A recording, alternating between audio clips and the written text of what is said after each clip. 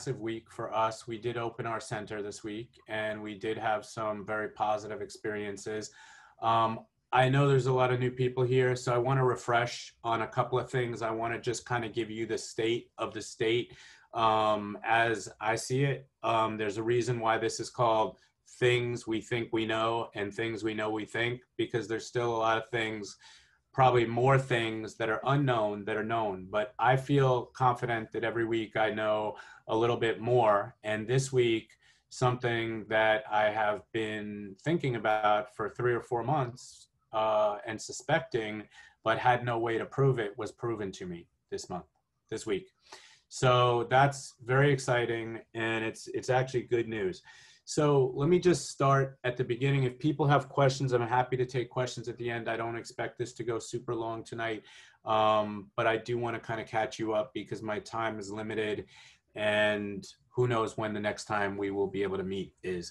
Um, but so, what do we know about COVID? If there's one thing I know about COVID that is very, very different than any other condition I've treated over the past 30 years, is that it's very unpredictable, it's very variable. It's going to vary tremendously from patient to patient, and very often it's going to vary even within the same patient from week to week, sometimes from day to day, sometimes even over the course of the same day. So, what does that mean?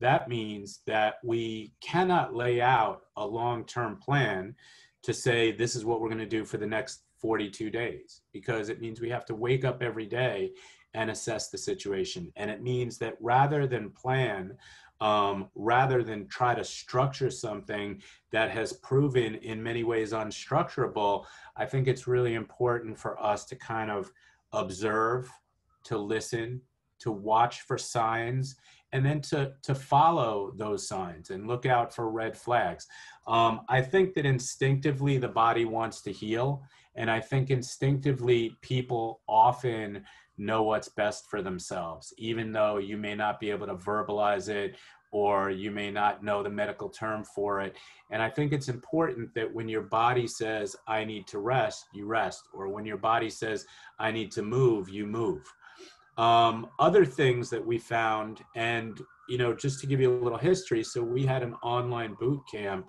that was for cardiovascular patients and pulmonary patients. For the past 28 years, I've been treating cardiopulmonary patients. My average patient has been 80 years old uh, going up into the 90s often and over 100 several times. And we had a boot camp for people, which was a daily program that they were able to follow for 42 days. We thought this would be the perfect kind of jump off point for COVID once COVID hit, except that what we found was that even the low level boot camp was too difficult for many patients.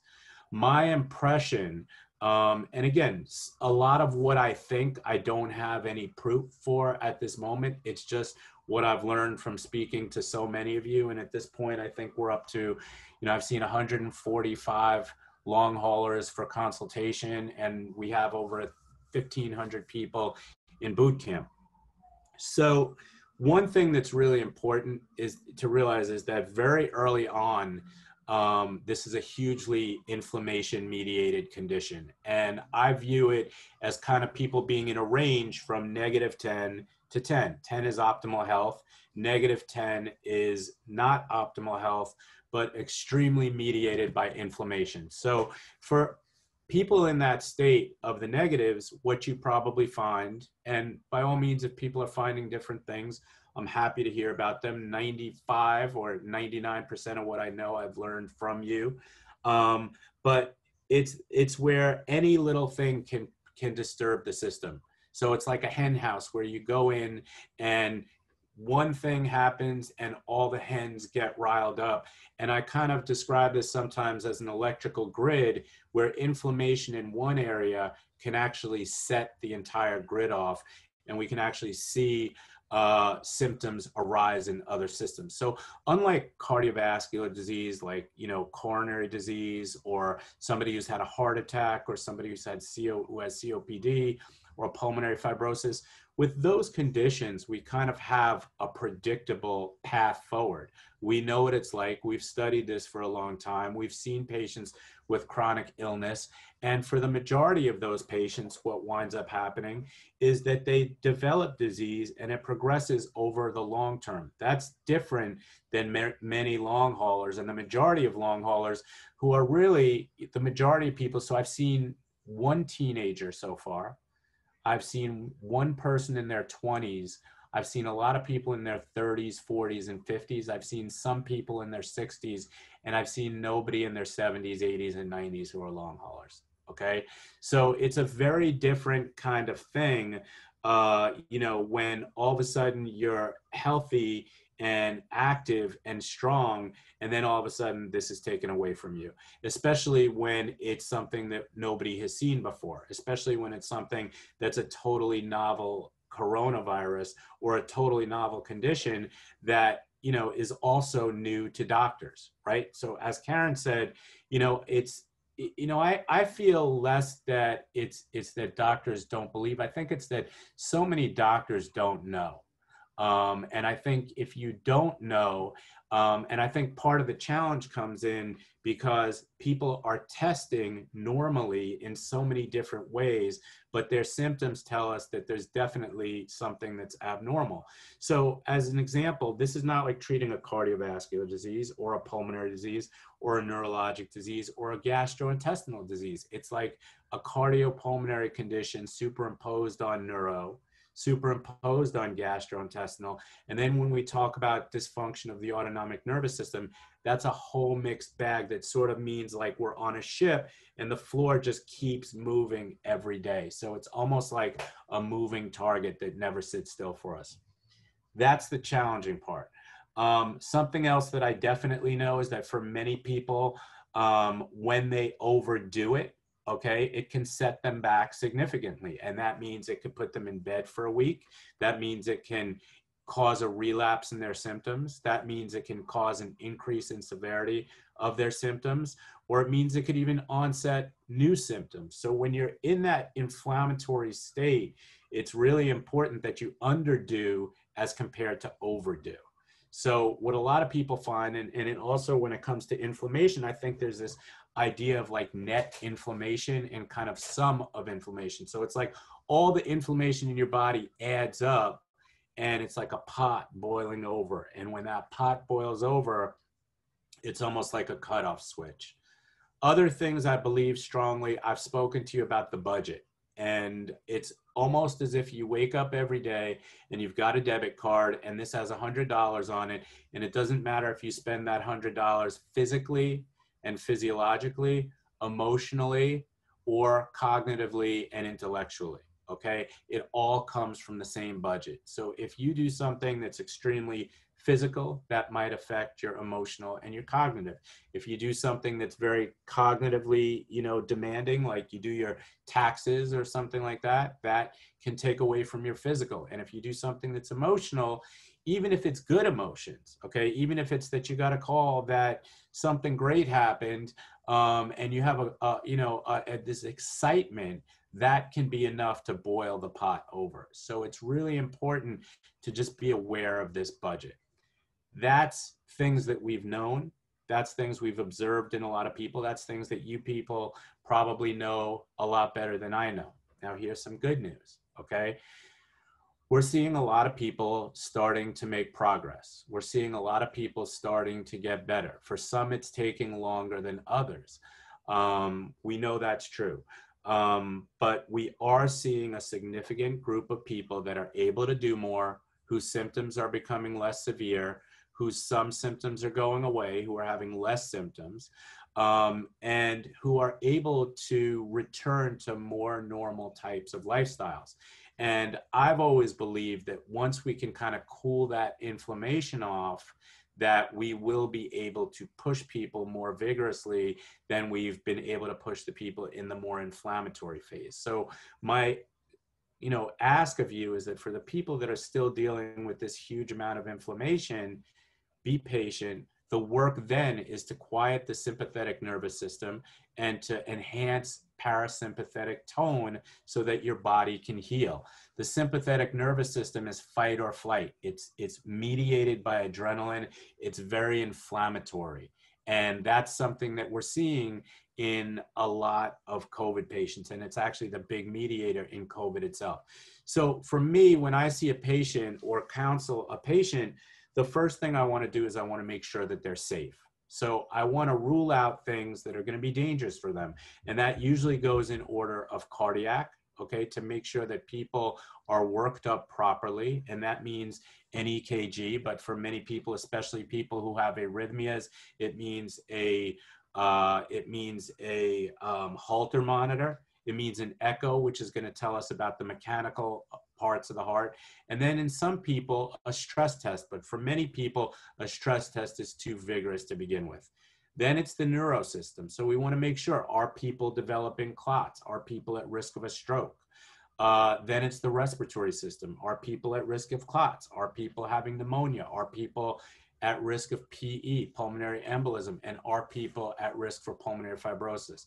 And then finally, it's, you know, this dysautonomia okay and the, the dysautonomia or dysfunction of the autonomic nervous system again is the wild card and that's what controls your heart rate and can make your heart rate go in ways that it shouldn't it can control your blood pressure in negative ways and positive ways and many other things but i have seen a lot of patients improving and now that we've gotten into the clinic so we've seen three patients and the reason why I wanted to get into the clinic is because I wanted to test a lot of the theories that I've been having. So let me talk for a moment about dysautonomia and orthostatic intolerance and POTS. So one of the things that many people experience is that position changes are very difficult for them.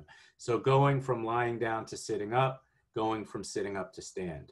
And part of the reason for that is because when you change position to go from a horizontal position to an upright position, meaning sitting up or going to standing, gravity is actually going to bring all that blood down to your lower body. And the big issue with that is that blood is not returning to the heart.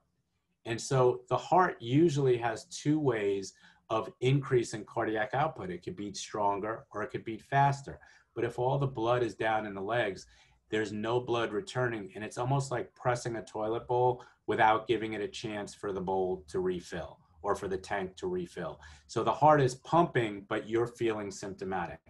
What I've always suspected about COVID patients, and I've learned this based upon treating POTS patients, and I've learned this based upon treating heart failure patients, and I've learned this based upon treating um, pulmonary hypertension patients is that instead of babying certain people once they get to a certain point, or instead of taking them at now, there are certain people who we have to go very, very, very minuscule steps forward to make sure that we don't overdo it. But there comes a point where if we actually get people moving and we can get their calves pumping, we can actually see a rise in their blood pressure and not a drop in their blood pressure. And that's what we've seen this week in two patients. And if it can happen in two patients, it can happen in many more patients. Um, and that's that's my report. So for those of you that are unaware, we do have a boot camp for COVID patients.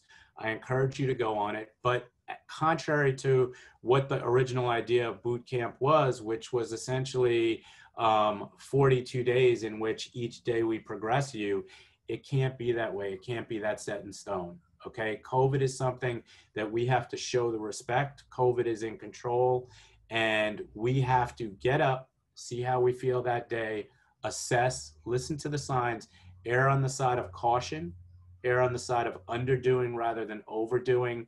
And as the body allows us to, then we take the steps forward. Questions and comments?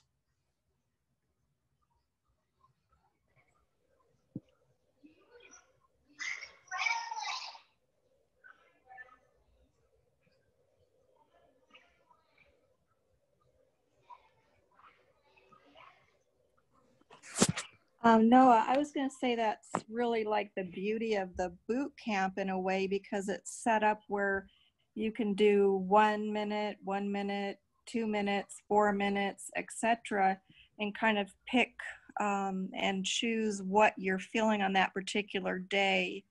And that's what I've been doing with it. I haven't made it, even though it's been six weeks, I haven't gone from day one to the sixth week last day but I've just been choosing what I can do on that particular day. And that's what's really helpful with that. I think that it, it's, you're able to make it work for you in different days.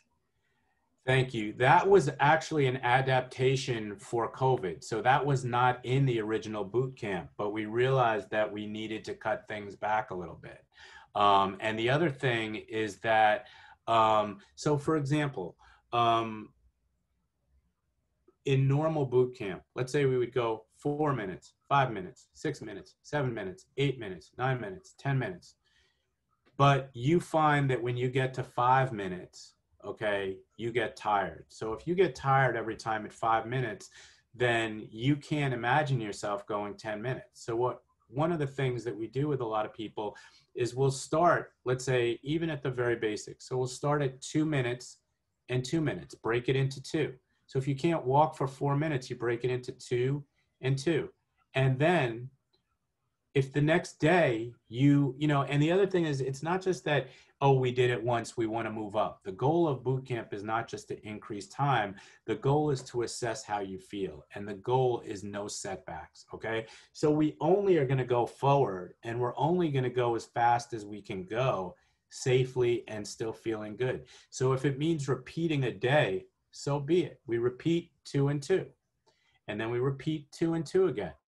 And if we feel good and we get to the to the point where um, you know uh, you know we get to the point where um, people are essentially um, able to do a little bit more, then we go from there but we don't want to go so fast. If you have to repeat the same day, you repeat the same day. And then when you've done it multiple times and you say, you know what, I've really got two and two down, then we go to three and two. Then we go to three and three. Then we go to four and three.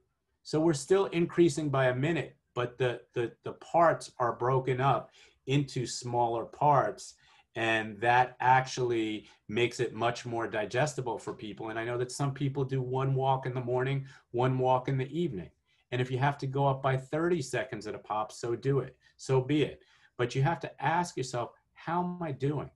And the key is that as we learn more and more we're figuring out that you know that you have tools that you could use. You have breathing you could use. You have calming methods that you can use. You have ways that you can lower your own heart rate, that you can lower your own blood pressure.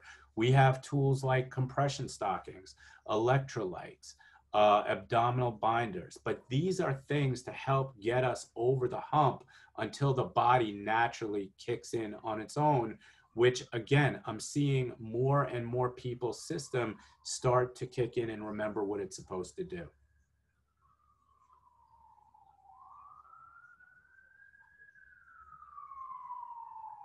Other questions or comments? Uh, Noah, can you speak a little bit? You said people are improving.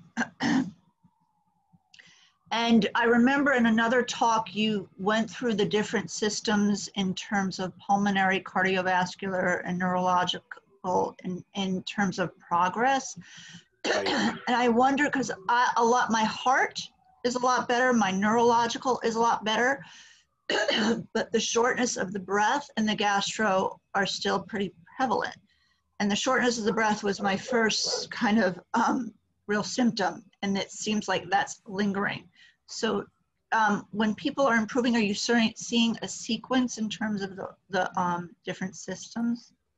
So uh, yes and no. So let's start with this. The cardiovascular system progresses pretty quickly, okay? The muscular system progresses pretty quickly. The neurologic system notoriously progresses very slowly, okay?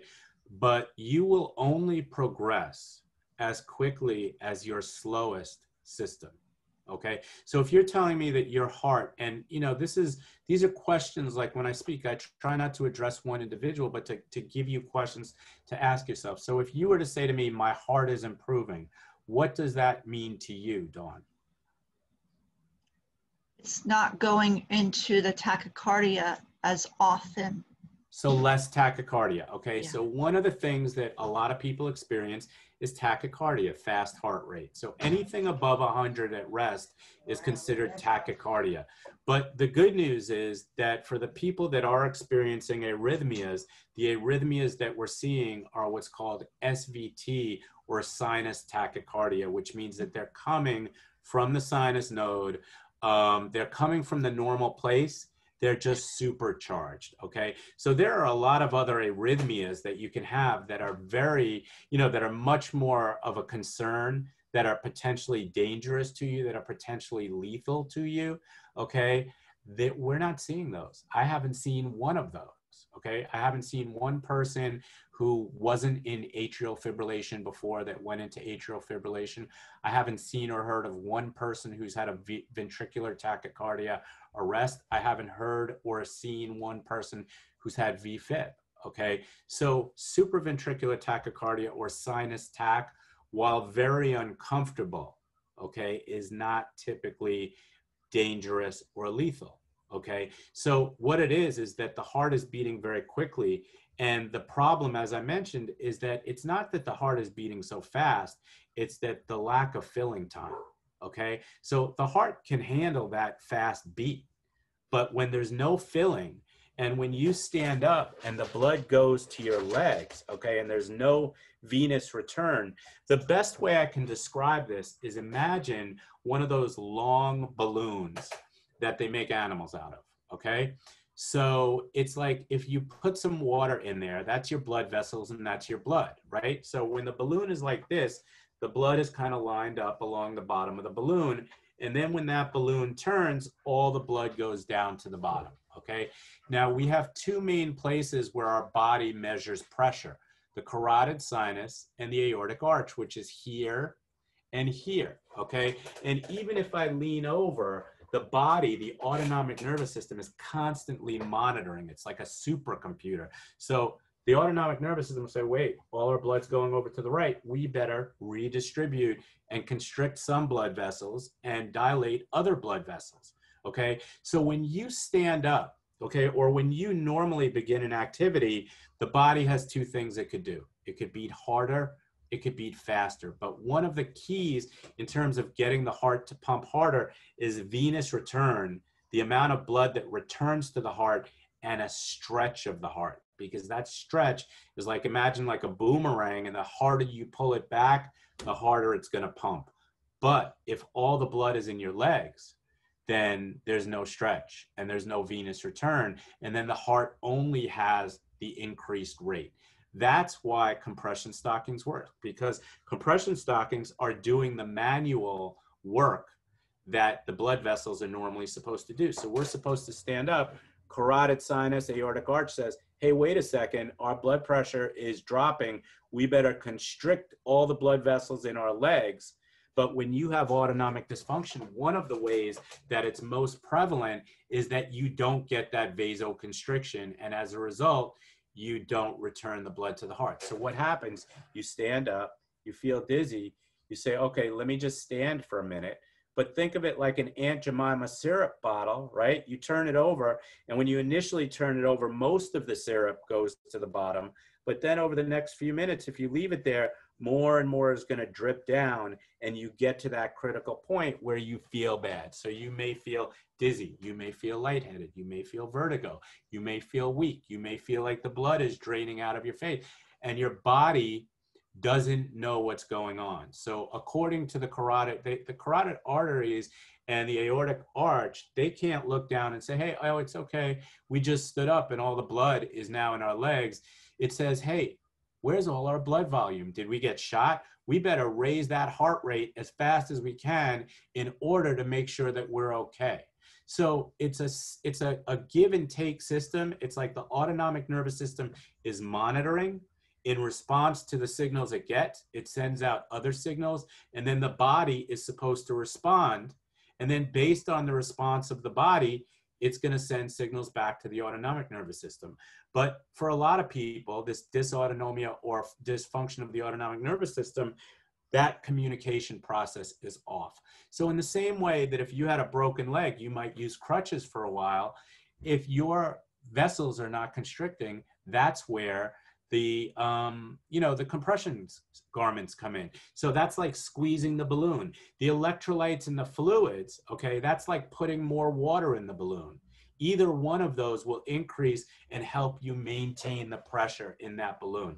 So dawn the fact that you are not having as so how do we determine you know if something's getting better or worse? We look at trends right? So if they're happening less frequently if they're less severe, meaning that they uh, your heart rates may be going high, but it's not going as high, okay? Or they're l- less period of time, right? So it used to last for hours at a time. Now it's only lasting for a few minutes. And if I do some deep breaths, I'm able to control it better. So that's progress, okay? And it's really important, you know, it's often hard, like when you're digging through mud to kind of figure out where you are. And it's really important, like to periodically look backwards and say, well, three months ago, this is where I was. Today, it's not perfect, but I'm moving in the right direction. And my feeling has always been that there's going to come a point where that bird is falling, falling, falling, but still flapping its wings, flapping its wings, flapping its wings, and that there's gonna come a time when we can start pushing you. And I also believe that so many of these things are like these feedback loops and these cycles where it's like this inflammation that causes pain and the pain causes spasm and the spasm causes more inflammation. And if we can get, you know, to break into this cycle somehow or if we can reduce the net inflammation somehow. So, just as one example, you talked about gastrointestinal, right? A ton of people that have COVID or that are long haulers have a big problem with acid reflux, okay? And acid reflux, it's not just like heartburn, okay? It's it's not that's not the only issue with it. It's that acid, okay, can go back and the esophagus and the trachea are very close together. So when you lie flat, again, gravity is going to move that stuff around. And if that's stomach acid, that the stomach is coated, like the stomach is able to take that, right?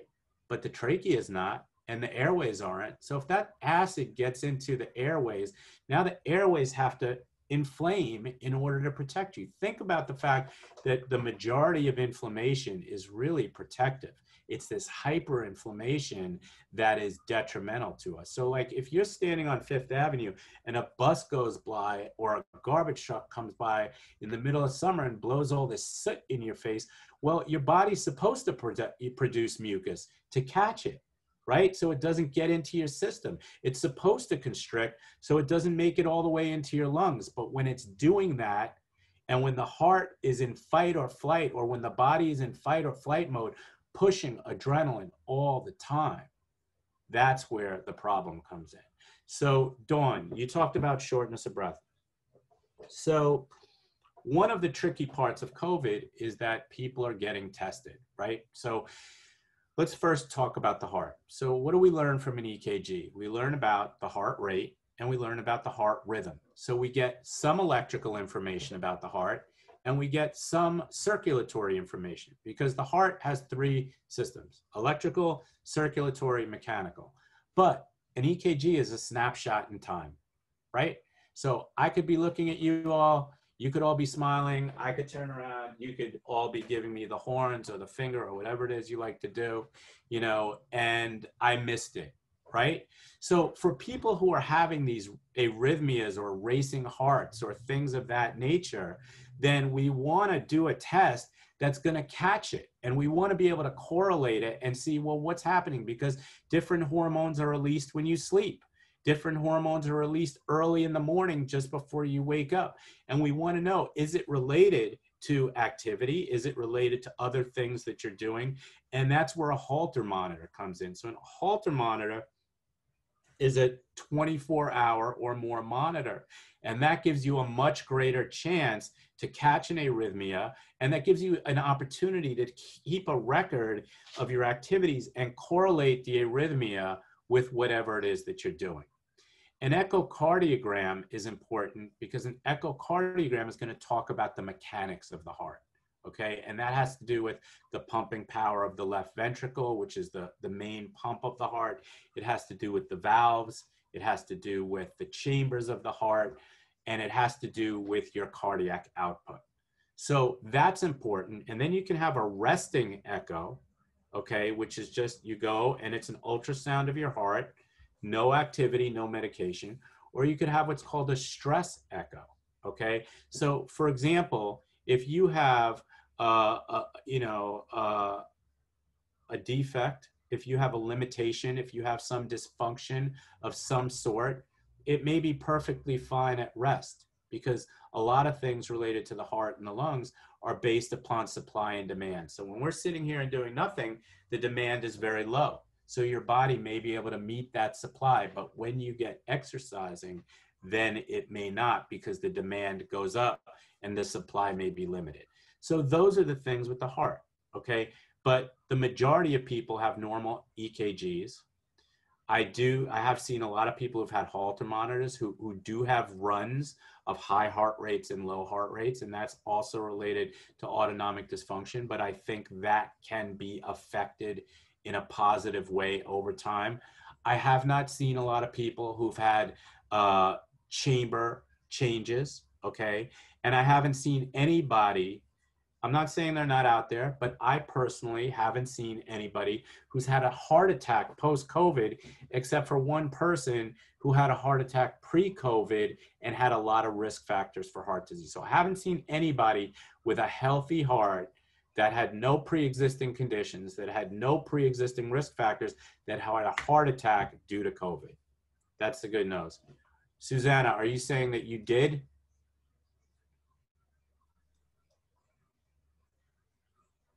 You're muted. You're still muted. Unmute. Now you're not Hi. muted. Hi. Hi. You hear me now? So you are the human being on the planet who talked me down.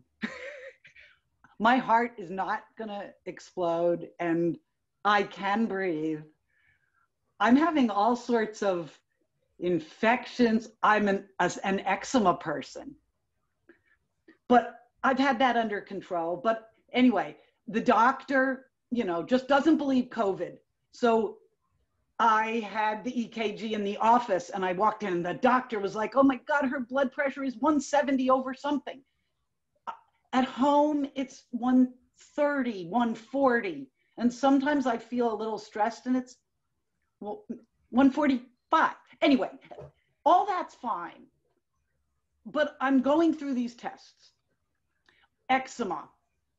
Um, when when they said you don't have COVID, you passed the test, you don't have COVID, you know, I said, okay, give me a dose of prednisone because the skin is falling off. Um, I've, I've had infections. Uh, my my arthritis is is acting up. The bad elbow, the thumb. When when I take prednisone, that all gets better. So I had a dose of prednisone and as soon as that ended, I got eczema all over, cellulitis, infection, infection. I, and I can get rid of some of them by just raising your leg and and it's not bleeding oozing it's just it doesn't it antibiotics so i've had cellulitis All right. Hang on one second. Anyway. Hang on one second. I'm going to address that. But if you just give me a few minutes, there's a, a there's a an order and there's a reason and there's a rhyme to what I'm like I'm building a story here. So you're jumping to the chapter on eczema, which is almost near the end of the movie. So just let me let me build this case for a few minutes. And then if I don't answer your question, then then we'll talk. But okay, you're talking about inflammation. And you're talking about prednisone, which is a very powerful anti-inflammatory, and you're talking about a systemic anti-inflammatory that generally will reduce inflammation everywhere, as opposed to, let's say, a steroid inhaler that acts locally in your respiratory system. Okay.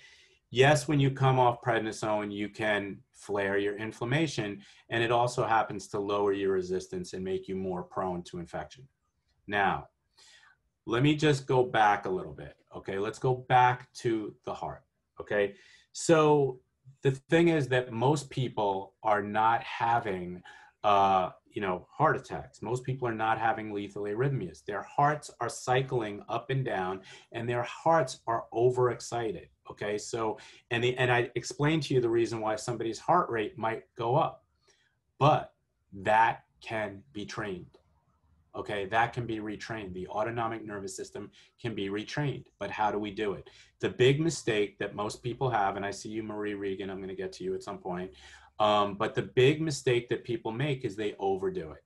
So they they are sick sick sick i have covid covid covid and then they feel good and they're like you know what? You know and people say and then i started feeling good and my next question is and what did you do and it usually is something like I walked a mile or I went to the club.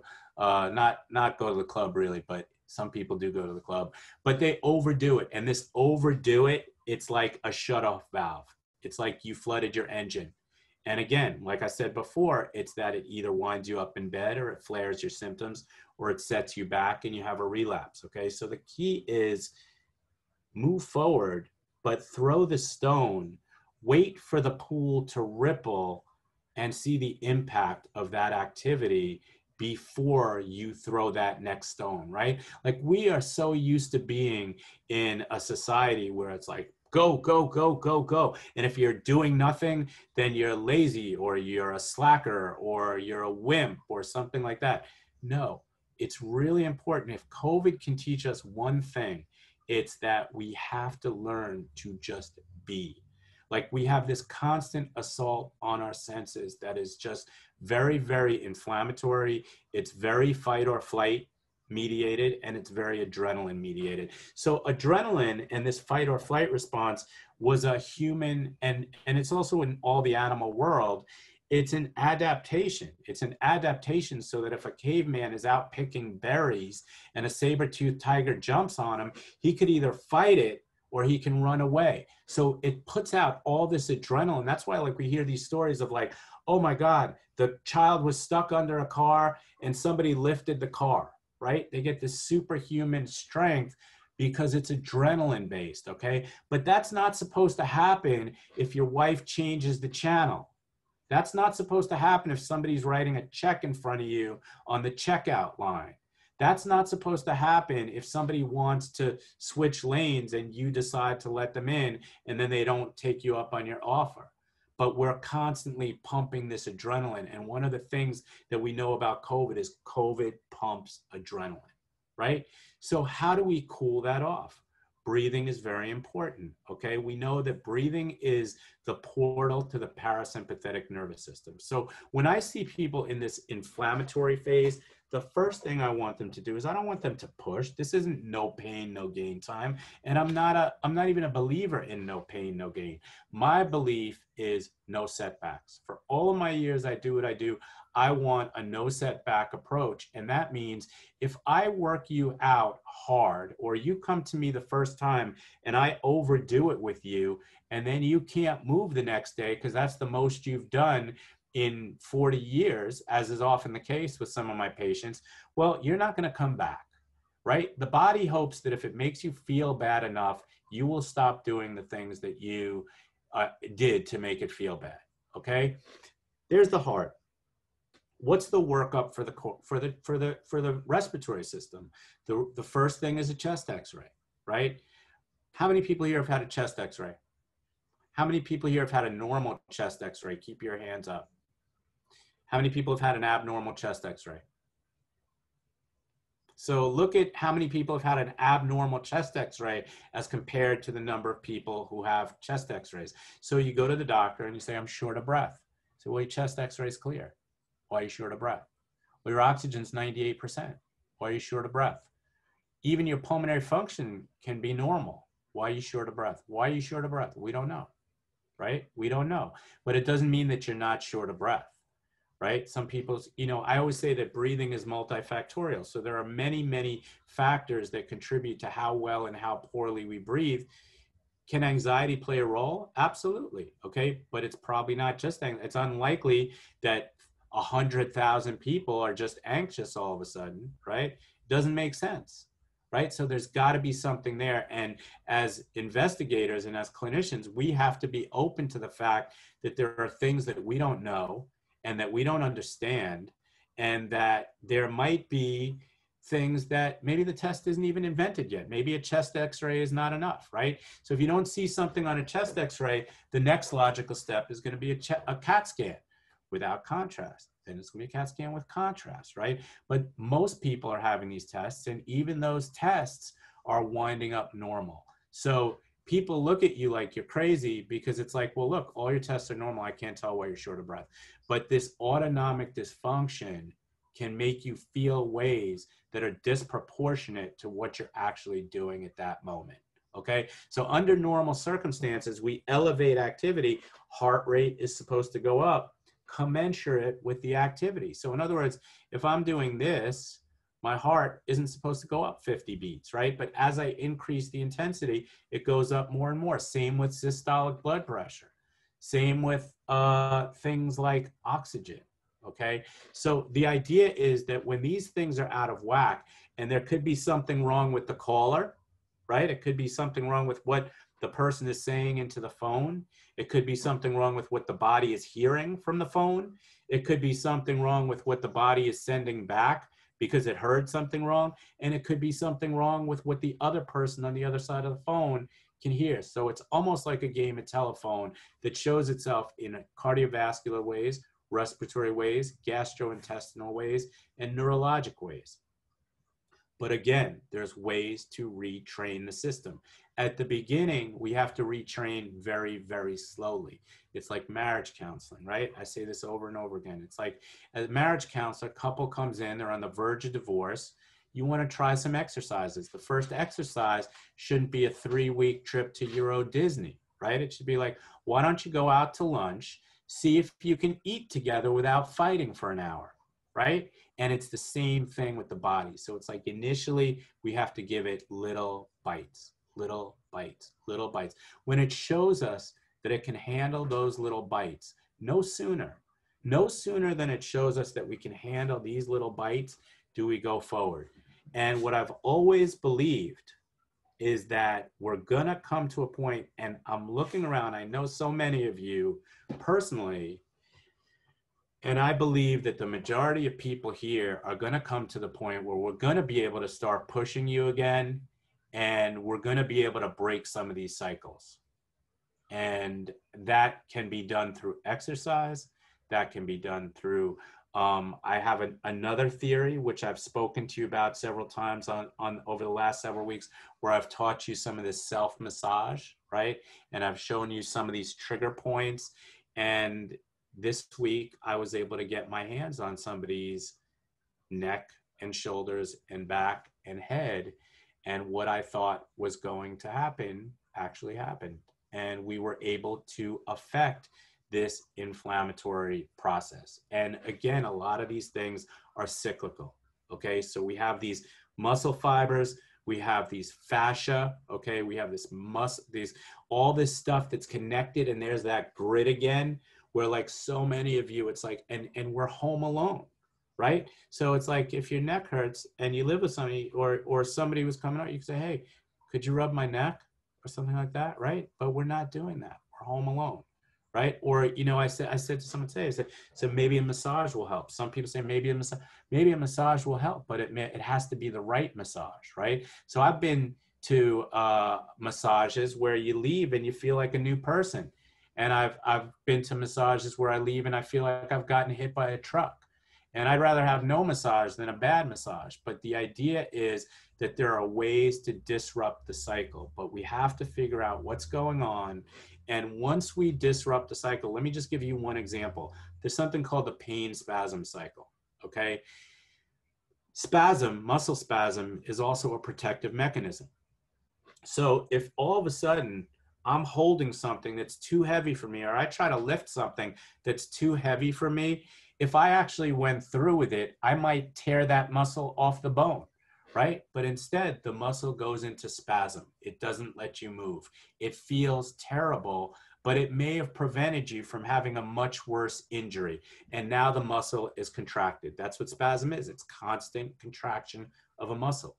And a way that muscle gets nutrition, which is blood and oxygen, is it relaxes, right? So if your muscle's doing this, guess what? It's never getting nutrition. And not only that, the way that a muscle gets rid of waste products is it contracts.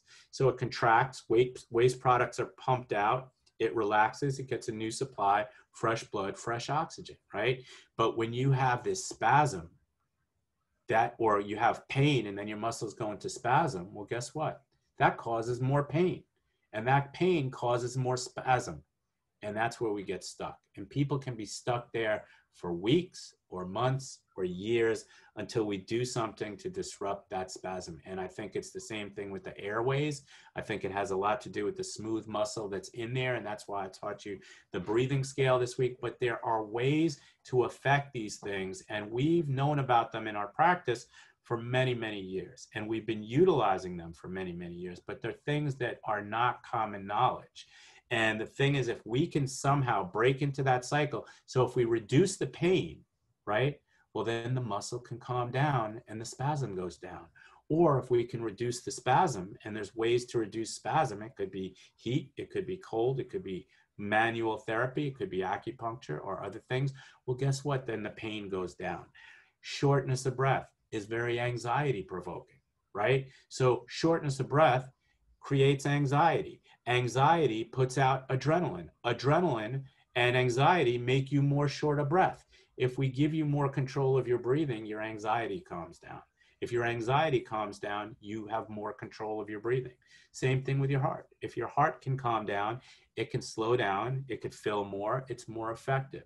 So the idea here is that I don't see a whole bunch of people that are putting together the kind of big picture and treating people based upon the fact that it is a cardiovascular issue superimposed on a, a, respiratory issue and superimposed on a gastrointestinal issue and superimposed on a neurologic issue.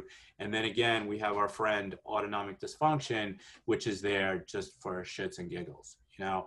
And essentially that's what you have to do. And you have to get good at listening to the trees Okay. We have two eyes, we have two nostrils, we have two ears, we have one mouth, right? So everyone's going, and everybody wants to talk about, you know, I have this, these are my symptoms, this is how long, but no, listen to yourself. And, you know, I see so many groups where, and, and don't get me wrong, I give all credit and I give all respect to the Facebook groups that really brought individual grassroots attention to these issues. Okay.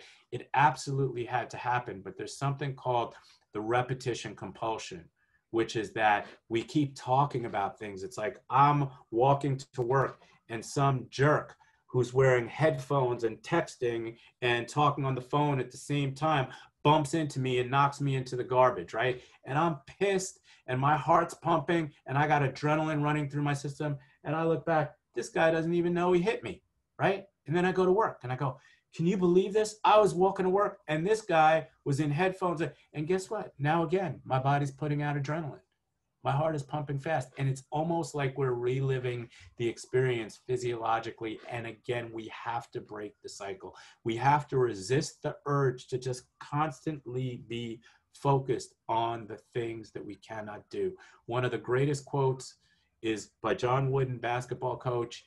And it's don't let the things that you cannot do interfere with the things that you can do.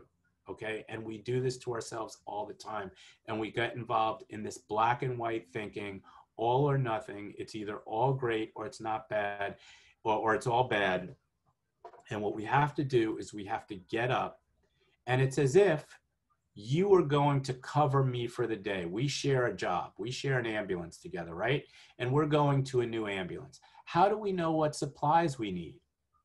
How do we know what supplies we need before we start the day? We have to look and we have to compare and we have to take stock.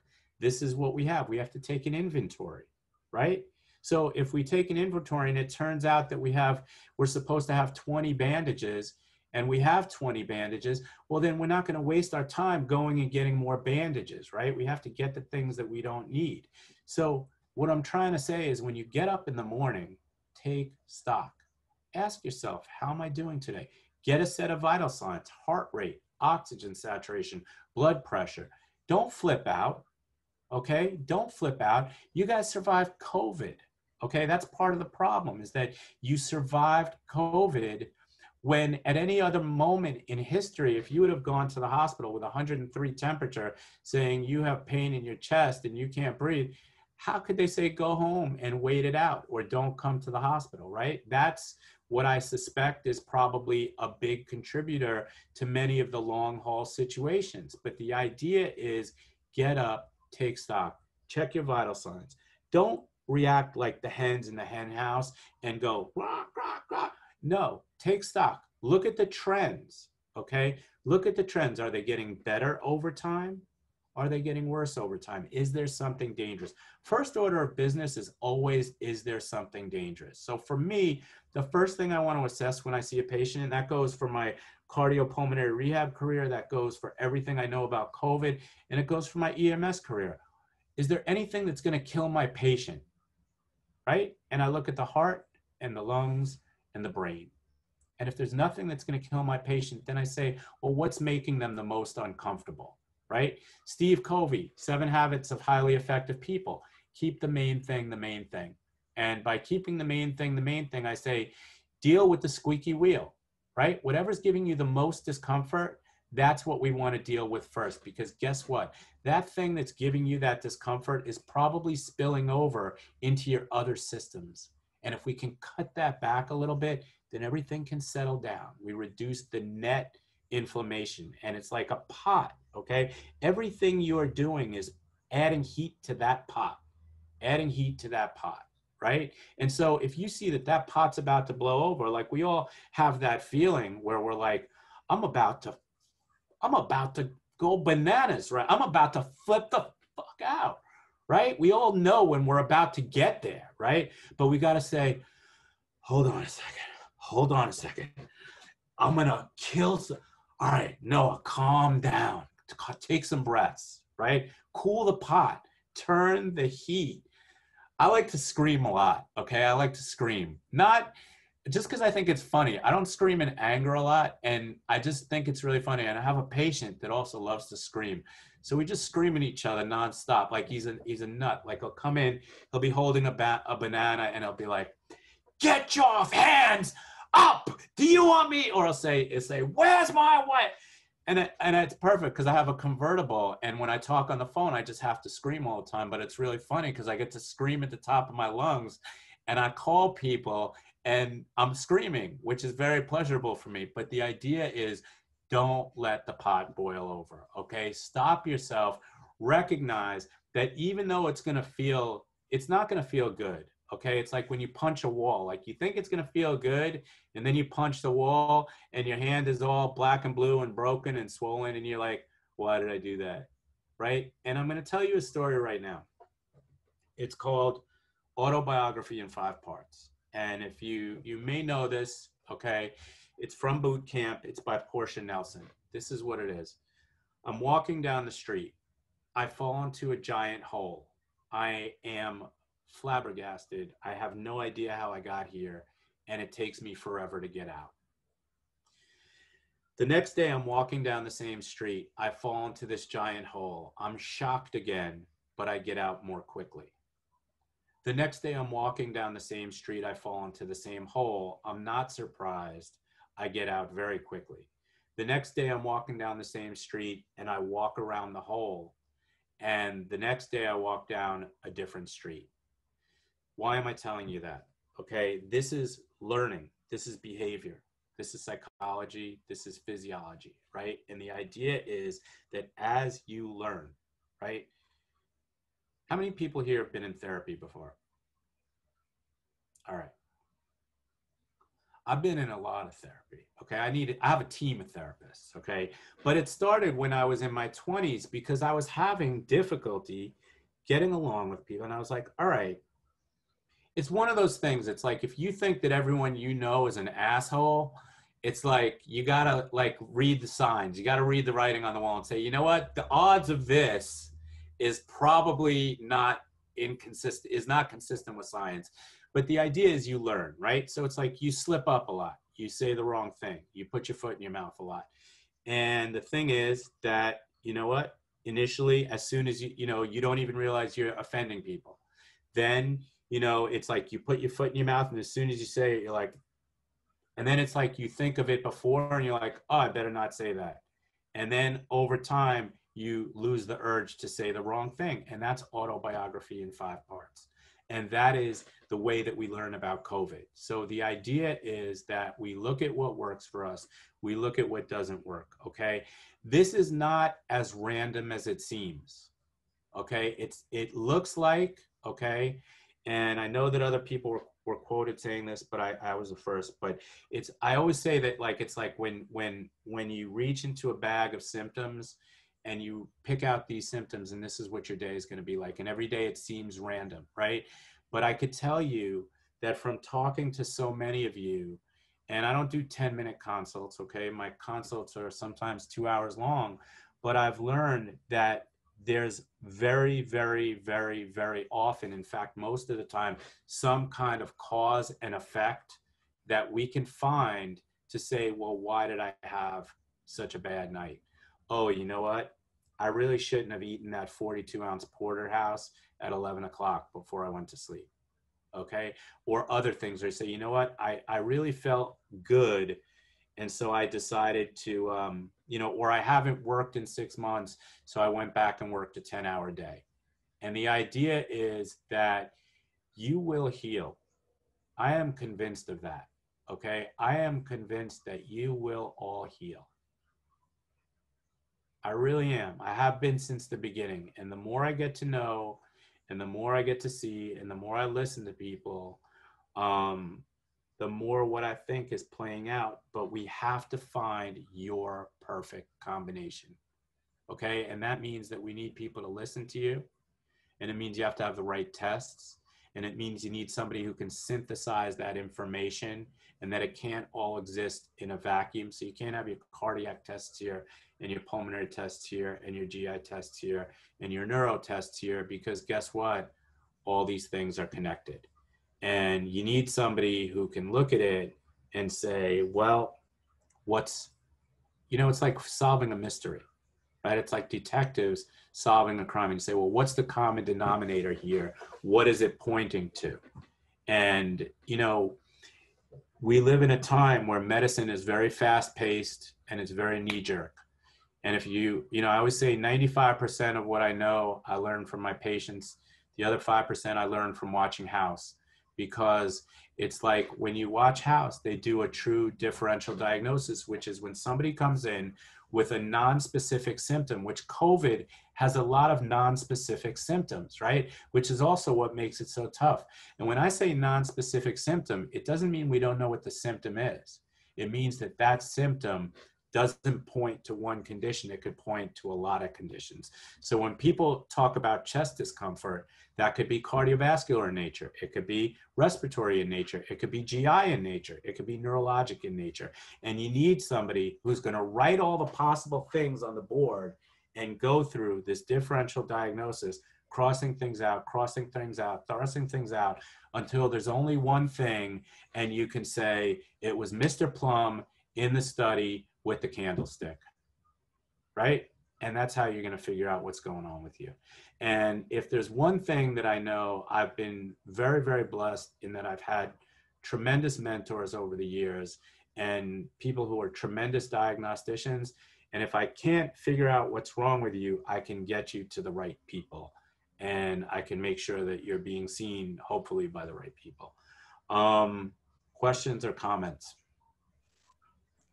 I, I Marie. to, yeah, um, this is all really helpful, Noah. And, you know, I want to thank you again for doing this. Um, I, I think I'm, you know, one of the ones now that's like moving in some push. That's maybe not a bad thing. Um, but I'm having two questions. One is about, you know, I, am trying to do that listening to the trees thing. You know, I'm trying to check in. I have a list checklist for me to remind myself what to do. Um, but you know, I'm also I I'm I'm working out um, recumbently in a very measured way. But um, you know, sometimes it's tiring. You know, and so not you know letting that be tiring and not setting me into a setback is what I'm, you know, modulating now. I haven't had a setback. Um, but learning, you know, that exertion can cause fatigue, but it's not going to whiplash me is okay. Let me give you, let me ask you a question and then give you a suggestion. Okay. Are you saying that you're working out recumbently and you are pushing it, but you're afraid that you may overdo it? I'm being super careful not to overdo it. I'm watching my heart rate. I'm, I'm like really not overdoing it, but I'm just sort of, as I'm getting stronger and able to do more, I'm not doing much more. but like, you know, today I felt after I, I did this rowing machine thing, I felt like not exhausted, you know, I, I felt tired from it. In my or, pre-COVID, I would have been tired from it, but I'm a little paranoid. You're you're leery because you know that it could lead to more than fatigue. Exactly. Did you ever play blackjack? Yes. Let me give you a suggestion. Split your aces. Okay, split your aces. So you know what? You get two aces. You're like, oh no, I got two or 12, right? What should I do? Split them up. So if you're doing 15 minutes and you're not sure about that, go to seven minutes and seven minutes right? Because you Yeah. know you could do seven minutes. Seven minutes is awesome, right? You're not even gonna break a sweat doing seven minutes. So you do your seven minutes, take a break, see how you feel. Later in the day, you do your seven minutes. That should be a piece of cake for you, right? Yeah. Eight minutes and seven minutes the next time. So when you feel, only when you feel like you're ready, okay, to move forward again, you increase the first one to eight minutes and the second one is seven minutes again. And then again, same thing. I get the other question I have, and this is I just don't understand, but the way you talked about everything about how the body works today was helpful. So I thought I'd ask you this. Previously, I had trouble with the stairs. Was staying somewhere else and like walking up and downstairs, you know, and also I was like totally over resting, deconditioning. But I, I I want to start walking upstairs again but again i'm afraid so i'm having some POTS dysautonomia so i want to understand if if how i should do that All right. So there's two things here. Okay. So there's two things here. So let me let me talk first about the first one. So the first thing is if you're worried about the length of time, right? You break it into parts. I'll tell you a funny story. Has anyone ever choked before? Has anyone ever like really seriously choked on some food? Okay. One time I was eating something and it got stuck in my throat. There's two times that I choked. One time I was home and I started like I panicked for a second. I was like, "Holy shit!" I was like, and it was like you know what you when you see like when you say, "I need the Heimlich," and I was like, I was like, "All right, let me get out of my apartment." I went and I was gonna knock on my neighbor's door, and then I was like, "What is wrong with you?" And I went back inside and I threw myself over the couch and I gave myself the Heimlich maneuver and I coughed it up. Okay, that's one time I choked, but that's not the funniest part. The funniest part, the the funny time when I choked was I was in the back of a cab and I was eating street meat, the chicken kebab. Okay. I ate one piece of chicken and it got lodged in my throat. Okay. And I had that same reaction. And I was like, all right, wait a second. I was like, I'm going to, I felt like I was going to get out, go to the driver's door, knock on the window of the driver and be like, I'm choking. And then I was like, wait a second. What if, this is New York City. I was like, what if when I get out to tell this guy that I'm choking, he takes off. So I thought of this idea. I was like, you know what? Eat a second piece of chicken. And I ate a second piece of chicken and it knocked the first piece of chicken down my throat. Okay. Why am I telling you that story? Okay. I'm telling you that story is because if the piece is too big, cut it in two. Okay. Split your aces. And that is it, when you get stuck. Okay. Because a lot of times people will get to a point where they're at a plateau. And we have to get away around the plateau. You can't force yourself through a plateau. It's a plateau for a reason. It's a physiologic plateau. So let's say we've been cruising along, cruising along, cruising along, then we're stuck. So someone this week told me they're cruising along, cruising along, cruising along. They're, they, they've been increasing intensity, increasing intensity, increasing intensity. Then they got stuck. I said, you know what? Decrease intensity, increase time, change the metabolism, change things up, right? Shift the energy. And that's the way to do things, okay? If one thing's not working, we have to keep trying, okay? I call myself Malcolm X physical therapist, which means by any means necessary. I don't care what it is. And one of the things is, you know, for each person here, it's like finding your own Da Vinci code. Remember that thing in the in the in the in the code? You gotta that code. You gotta find your own thing. So that's why a lot of times when I see the groups, some of the groups are just so fast paced. It's like somebody will say, you know, has anybody ever had this? Has anyone ever passed gas in the middle of Star Trek? And it's like, you know what? I I have. And it's like, is that COVID? You know, it's like, you know, it's it's like, and the thing is that we have to, it's it's great because we all want sol- solidarity. We want to feel like we're not alone, right? But some things we have to figure out for ourselves, right? Because if you look around this screen, okay, there could be 20 people here with the exact same symptoms, and they could be coming from 20 different things. So we have to listen and we have to look. So now, next order of business, um, you were saying you want to walk upstairs, right? So how many people have difficulty walking upstairs? Okay, so in New York City, the complaint that I hear most is walking up subway stairs. Why is that? Okay, because they're long and they're straight up, right? They're not built for comfort, they're built for space saving right? This is New York City. So people say I have difficulty walking up subway stairs, or people say I have trouble walking uphill, say I have trouble running for the bus. That is what I previously referred to as the New York City pulmonary triathlon. So it's like you run up a flight of subway stairs, walk up a hill, run for the bus. Okay. But why do people, why does, why is walking upstairs a universal difficulty? How many people have difficulty in the shower?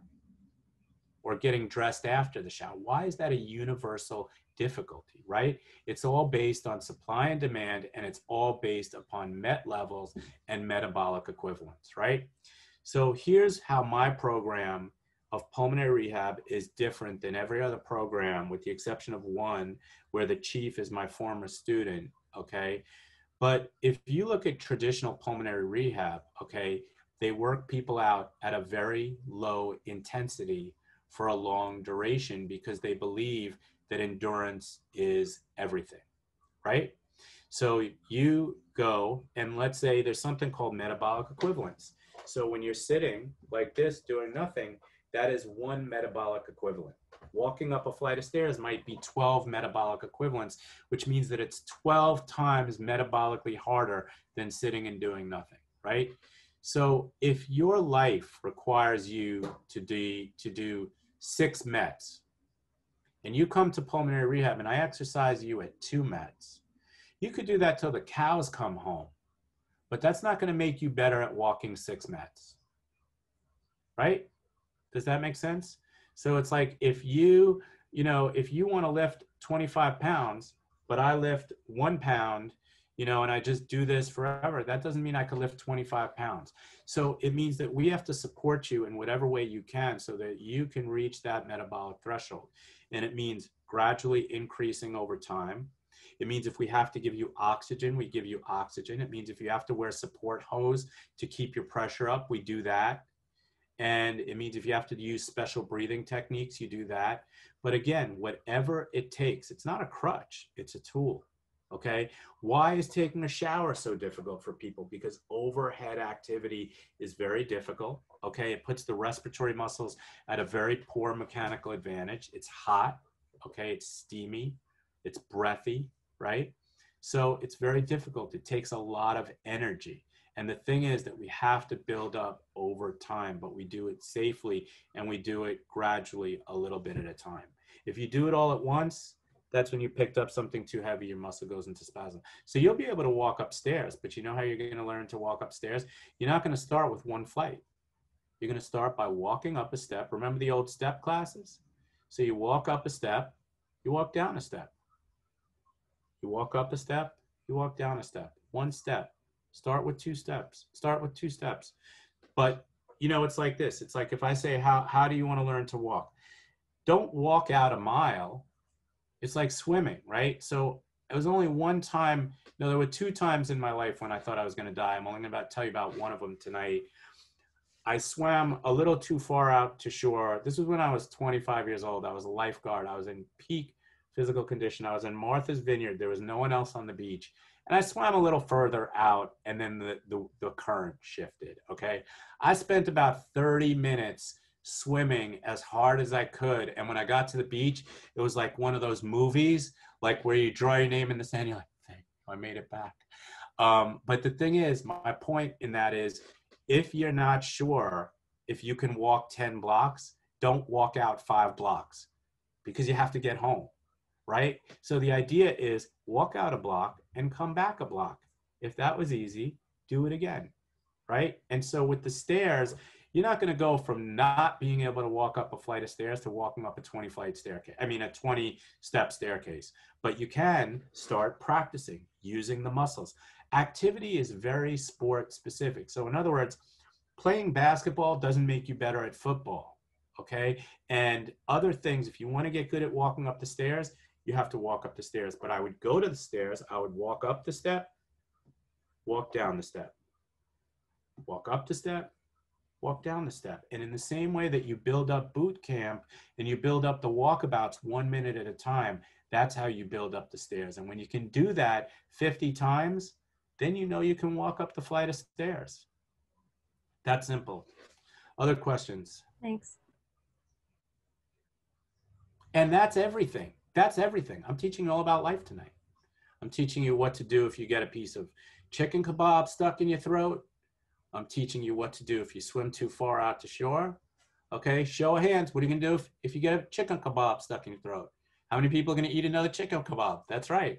I'll tell you another funny story. I used to work EMS. I got called to a job in Central Park. They called me because they knew that I'm an expert in chest physical therapy, which is helping people clear secretions from their lungs. There was a fancy dinner in the park. One of the guests swallowed an entire chicken nugget and it went into his lung, he believed. Okay? So they called me from another ambulance and I did chest therapy on this person in the back of the ambulance. And sure enough, this guy coughed up a whole chicken nugget. Okay? saved, went back to the reception. The shit of this story is that the next Monday, I get called into the chief's office because these guys who called me to their ambulance reported me for doing something that's outside of the scope of EMS practice. And so now I'm, there's a little hearing, and I said, Well, you reported me for doing something out of the scope of EMS practice, but all you guys are EMTs. So if if you only wanted something that's in the scope of practice, what'd you call me the ambulance for? Right? Makes no sense. Anyway, you didn't like that story as much. I think I'll stick with you didn't like it enough. You can't have everyone be a winner. It's okay. Other questions or comments? Martha. I was just going to tell Marie that, you know, you, I'm one of the ones that you told me to back off of my 15 minutes and go to seven and seven. And it's just, I just want to tell Marie that it's like it's kind of changed a lot for me in part because I had the same anxiety you've had Marie about like am I I'm getting a little tired? Am I about to have a big setback? Am I going to be in bed for two days? And the seven and seven uh, actually I'm at like seven and six this week uh, just gives me so much confidence like I can do seven and six I feel like a champion I feel like Rocky I feel like I just got out That's of right. my previous Orange Theory HIIT workout I feel like I'm the beast of a 60 year old here. You know, I just feel like myself for the first time in a very long time. So that little change that for some reason I couldn't work through myself, when Noah said to do that, I was like, okay, I'll do that. And it's just, I, I feel. But I think about that. You're no succeeding. no- You're succeeding. Succeeded. You're succeeding, right? And feel like success breeds success. I'm not thinking about chronic fatigue syndrome anymore. I'm just doing my little seven minutes and my six minutes. And you know what? You're going to build it up again. And Yeah. you're going to build it up. And then if it turns out that, you know, you get there, then you break it into three. I know what to do now. So and I be know- it. And I know Okay. it'll I'll be successful. Yeah. Listen, five nickels or one quarter, it's the same thing. Okay. And that's how you got to think about it. And the idea is why set yourself up for failure? Right? If you know that something's not going to work for you, or if, if you are, you know, if you're taking your life in your hands and you're only making it back to the beach by the grace of God, why do it? Right? Why do it? Let's build success. It's the same repetition compulsion. And the same way that when you succeed at something, it releases endorphins and it releases positive healing chemicals and it calms the system. Failure does the opposite, right? So there's many, many, and I hate this saying, more than one way to skin a cat because I love cats. I love all animals. I would never skin a cat. But there's so many different ways that you can tinker with this. And if you're not sure, contact me because my team has been doing this for a long time. We set we get sent patients when like people seriously like nobody knows what to do. They say send them to us. And what a lot of people call the end of the line, we call the starting line because I know you didn't try everything. And if you didn't try everything, then there's always something else we can do until you're dead. And nobody here looks dead to me. So, and nobody here even looks close to dead. So, you know, it's there's always something you could do, but we have to be inventive, but we have to also look for the signs and we have to figure out what's actually going on, right? What's going on here? Because a lot of times we're reacting to things and we're treating things in ways we're treating the wrong thing. We're treating the wrong thing and we're addressing the wrong issue. And it's like, you know, a screwdriver is great for screwing, but it's not good for hammering things in. There's a tool for everything, and we just have to find it and we have to get to the right people. And if at first you don't succeed, you have to keep trying and keep trying and keep trying. When a doctor says to me, you know what, there's nothing I can do for you, I thank them for their honesty and I find another doctor okay because i don't want i don't want to sound like trump and say like I, I don't like people who are captured i don't want a doctor who doesn't who there's nothing that could do do for me. I want a doctor who's going to say you know what? Let's try this and if this doesn't work i got 26 more tricks up my sleeve. I don't want a one trick pony. It's like if you thought if you go to thor for help what tool do you think he's going to use? The hammer. It's all he's got right? What do you think the hulk's going to use? It's going to it's going to punch right? So you want somebody who's got more than one tool in their in their toolbox. Other questions, comments? When is Ellen? Sorry.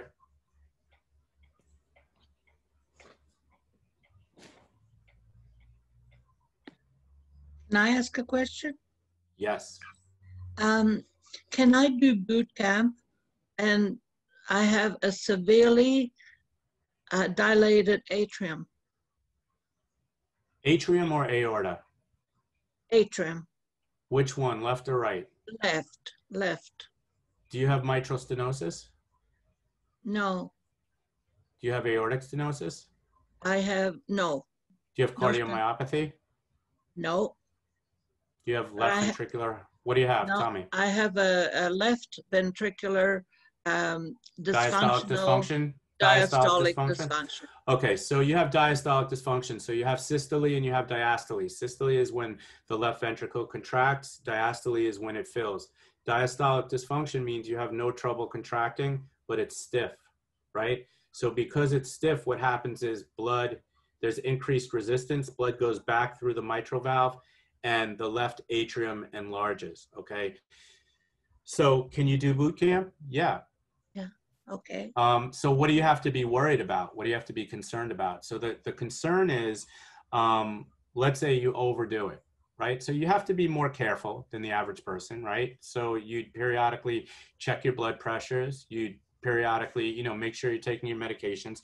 But what would be the potential downside? So the potential downside, I was talking about supply and demand before. So if you overdid it and your ventricle could not expand enough, right, to get enough blood so that it pumps, your cardiac output could diminish and it could either increase your pressure or it could lead to potentially heart failure. And heart failure is such a terrible name for it because it sounds so much worse than what it actually is. And it's a it's a transitional um, thing. It's a it's a it's a dynamic condition that can get better or worse. So you will just watch yourself. You'll monitor your symptoms. You'll monitor your heart rate. You'll monitor your blood pressure. And I, I hate to be. Uh, you can tell me at another time. I'm going to use an example. Okay, let's say you're 50 years old. Okay, uh, I use most people use something like 220 minus your age as a peak heart rate. I use 200 minus your age. So if you're 50, that means the maximum heart rate I would ever let you get to is 150. In your case, if you're, you know, if it, if we would say the reason why I use 200 is because that gives you a 20 point safety zone, right? So the idea is that with that 25 point safety zone, because we know you have diastolic dysfunction, because we know that if you don't fill, what could theoretically happen? You could get dizzy, you could pass out. Just go nice and easy, okay? Uh, I'll give you a very simple way to gauge um, effort, right? I'm gonna give you three terms. Fairly light, somewhat hard, and hard. Anyone heard this before? Okay, so this is the Borg scale, right? So we'll ask you on a scale of six to 20, how bad do you feel? So it could be very, very light, very light, fairly light, somewhat hard, hard, very hard, very, very hard. But I like to make it simple. Is it fairly light, somewhat hard, or hard, right? So Helen, you would start your workout in the fairly light range, right? That's your warm up.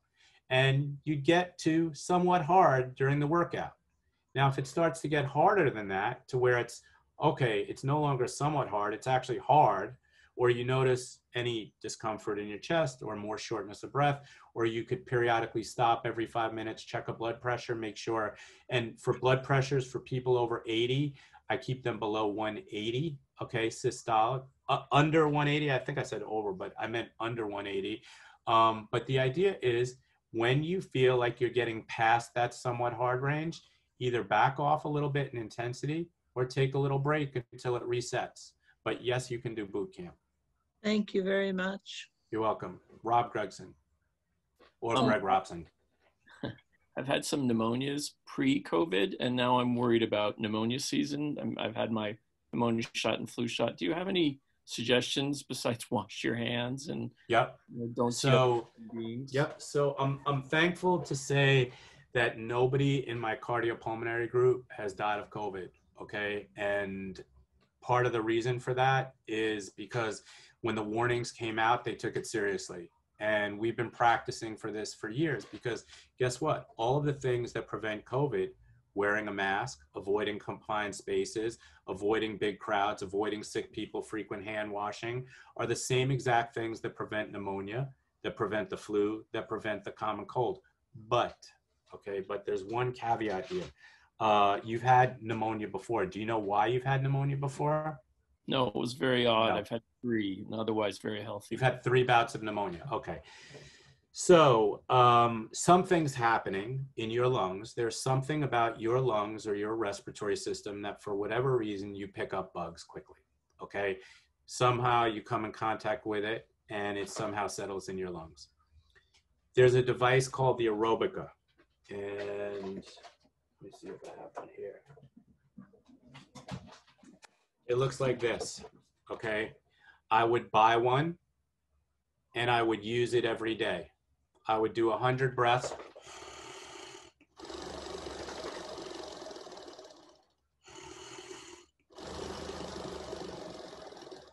A hundred, breaths in the morning, a hundred breaths in the evening, and I would do some of them lying on your left side, and I would do some of them lying on your right side, because what that's going to do is that's going to make sure that your airways stay open, that your alveoli stay open, that you're milking secretions up, right? Because maybe there's something about you that you don't clear secretions very well, right? You may cough, but you don't, eh, you're not able to clear them.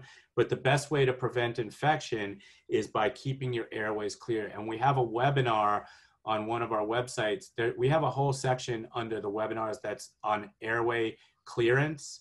And there's a webinar that I did with Marion Malkus. It's called Zen and the Art of Secretion Clearance. watch it. It's going to explain everything to you about why you may be picking these bugs up. But the basics, like wearing a mask, avoiding crowds, avoiding sick people, washing your hands a lot, those things really work. Um, I tested negative yesterday for COVID. I tested negative for antibodies. Um, I was a germaphobe before. Um, I'm more of a germaphobe now, but I was happy. I, I I'll tell you something. Uh, I'll tell you a personal thing. I, I, I had an exposure.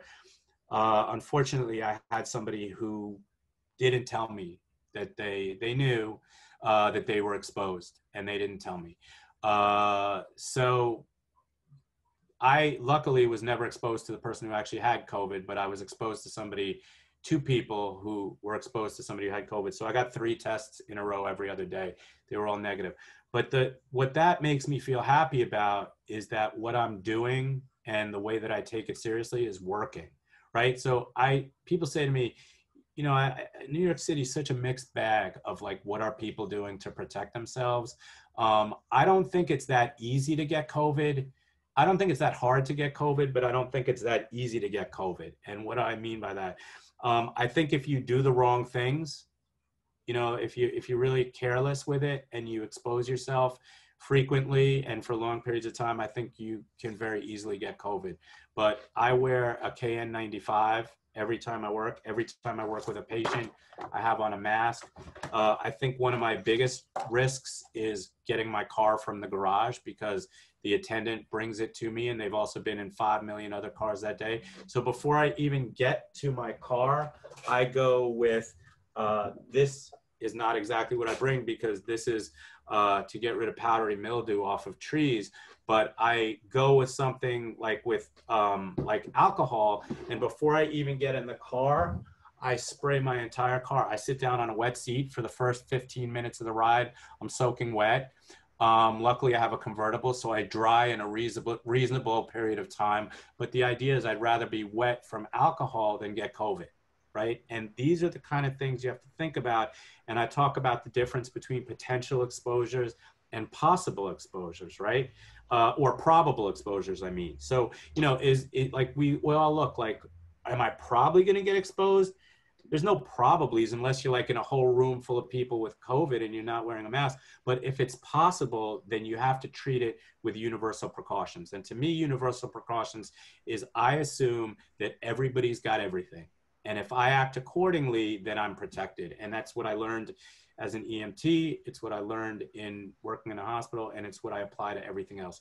I don't assume nobody has nothing. I assume everybody has everything but I think the Aerobika will help you and watch Zen and the Art of Secretion Clearance. And prevention is, is really possible. It's very important. Other questions? I just want to ask about uh, joining the boot camp. Yes. Um, is there is there a beginning and an end, and I'm in the middle, or how does? No. So the beauty of boot camp is that it starts whenever you want to start. Your day one is the day you start. So it goes by one, two, three, and it goes day by day. And for the people that, you know, have had COVID or, or post-COVID long haulers, I say, don't worry so much about the days. I have about 125 people who send me an email every day and they say, this is what I did. This is how I felt and these are my numbers. And I write back and I say either stop, go backwards, go forward, stay where you are, go forward, go backwards. Okay. So it's very individualized. So don't use the days literally. They were designed initially for a cardiopulmonary uh, group, but it's it's there in order. Each day there's stuff for you to do. Um, but don't get overly wrapped up. Again, keep the principle in mind that we want no setbacks. Is it a particular time of day? anytime you want. The only things that are a particular time of day are these meetings. Okay.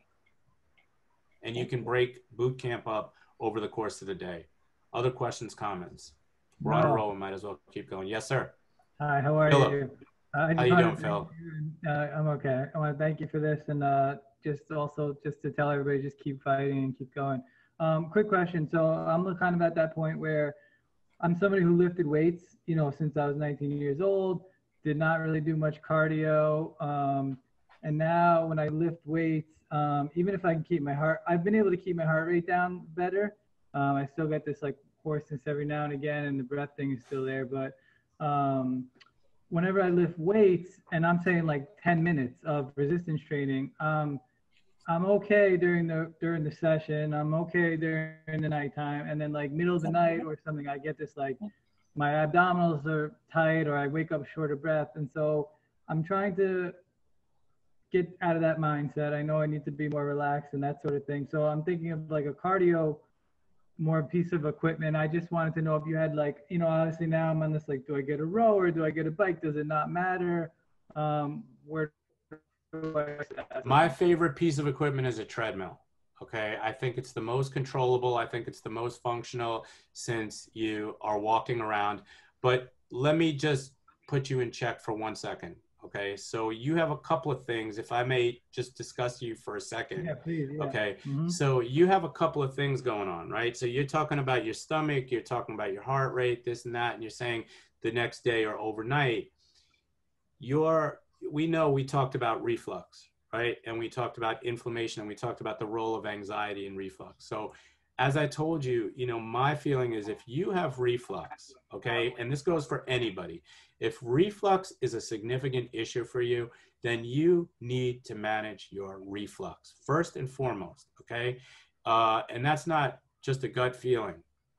That was a joke. I'm just kidding. But I, I gotta, I think of them, I gotta throw them out. But the idea is that reflux can be so detrimental to you, okay? More than just the heartburn, right? Because it can come up. The esophagus and the trachea are like this.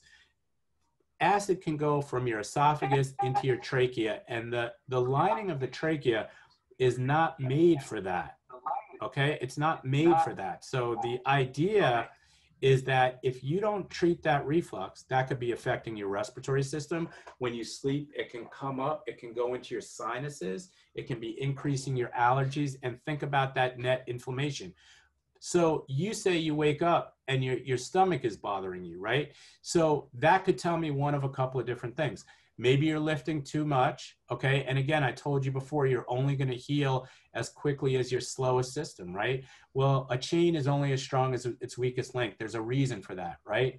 So maybe your core is weaker, right? If your core is weaker and you're doing, you know, some exercise that is too much for your core, then it could be muscular, okay? But it could also be your GI system. But that being said, if you are somebody who, um, you know, you're used to lifting weights, but you're finding that you're fine during the workout and um, you are you know only in the middle of the night are you starting to feel symptomatic but the next day you don't feel so good and a lot of people have this experience which is that they feel okay during the activity and then they feel okay later in the day and then the next day they don't feel so good then you have to cut back okay so it's like this same thing with supplements right so i have a friend who works at willner chemists which is like how many people saw the movie city slickers so you remember there were two brothers on the trip, right? And they were the ice cream kings, right? And their specialty was if you told them a meal, they would tell you the exact perfect flavor ice cream to go with that meal, right? So they'd be like, all right, I'm gonna have a flavor, and be like rum punch, right? And it was like that, okay? Willner Chemists is like that with supplements, okay? You go in there, these guys are like supplement nerds. They know everything humanly possible about every supplement and they know where it is. But what they're telling me is that people are coming in and they're buying 10 anti inflammatory supplements, right? So if you've never taken a supplement before in your life and you add 10 anti inflammatory supplements, do you really think that's going to be soothing on your system? No, it's going to be inflammatory. Okay. So the idea is don't believe everything that's on the box and take baby steps. Go slow. Imagine you're walking around in the dark and don't just swallow everything that says it's anti inflammatory for you. And if you're taking a lot of supplements, one of the things I try to get people to do is cut back. Unless there's something that you specifically know the you can literally see the effect of it or feel the effect of it. If you don't know the difference, then you shouldn't be taking it because my gut feeling, no pun intended, about COVID is that the less you ask your body to deal with, the more time and energy and sustenance it has to devote to healing. So don't give it 26 things. It's like if you're making a soup and you say, you know what, this soup needs a little something. Let me put in some salt, pepper, nutmeg, another piece of chicken, and some rice. And then you taste the soup and it tastes better, but you don't know what did what. Right? So it's like part of knowing what's working for you sometimes involves scaling back. And that goes for exercise, that goes for what you're eating, that goes for supplements, that goes for medications, right? How many people here have 20 medications? Sometimes you don't even remember what they're for. You don't know what's doing what. And if you add multiple things at once, it's like you're not going to try to, you know, my, one time my cousin was trying to kill a fly with an axe, right? So it's like you, you don't need to blow it out of the water. You want to be able to do things in measured strokes. Um, so that you're not overdoing it. The less you ask your body to do, it's a trust thing, right? So you say, Ma, could I have a friend over? Yeah, don't have a house party, right? So it's like bring one friend over, show you could be trusted, take one supplement, see how your body responds. This is about building trust, rebuilding trust between you and your body, rebuilding trust between you and your physiology, rebuilding trust between your autonomic nervous system and the rest of your body. And it can happen. I know it can happen because I see it happening. Other Uh, questions? I have a question, Noah. Yep. Am I on? Um, okay. I've learned how to pace myself because I was doing too much exercise. I did like 50 minutes one time and I overdid it. I paid for it the next day. So I'm learning to pace myself. I'm doing better. But the question, another question I have is, I've been told by my doctor that you can have uh, COVID happen to you again. Just a little bit scary for me because I already had it once. I almost died. I don't want to have it again. And they said there's many strains about it.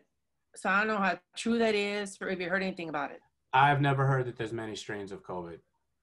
Has anyone else? I've never heard there's many strains. I've heard of people being reinfected. I heard have heard of people. I don't think we know if there's many strains of it. Again, I think there's a lot of things that we just don't know. And I think that sometimes, especially people who are supposed to be experts, don't want to say they don't know. And I think sometimes people will say something just to, to not have to say they don't know. And I think that, you know, particularly in the time of the world that we are in, where it's like sound bite, sound bite, sound bite, and it's like somebody says cardiac, and it's like all the fish swim to the cardiac section of the tank, and then we say respiratory PE, and all the fish swim over here, and all the fish swim over here, and that becomes the news cycle for that day, right? And before you even know it, like at a certain point, you have to take a breath and you have to ask yourself, what is going on here? And at a certain point, you need the quiet and you need to be able to hear yourself think. And you have to think for yourself, right? And there's, trust me, I talk to doctors all the time. A lot of them don't know. A lot of them do know. That's not a criticism, okay? I think the doctors, nurses, respiratory therapists, people who clean the halls, people who deliver the food from the restaurants, these people were heroic during this time, okay? This was like a battle time. They got up to speed super fast. There were no, you know, so the idea is it's just we don't know. It's like we were a ship and the ship is preparing for certain emergencies and you're preparing for icebergs and you're preparing for you know hurricanes and you're preparing for this and next thing you know mothra's in the sky. You know you weren't preparing for that. How could you know about mothra?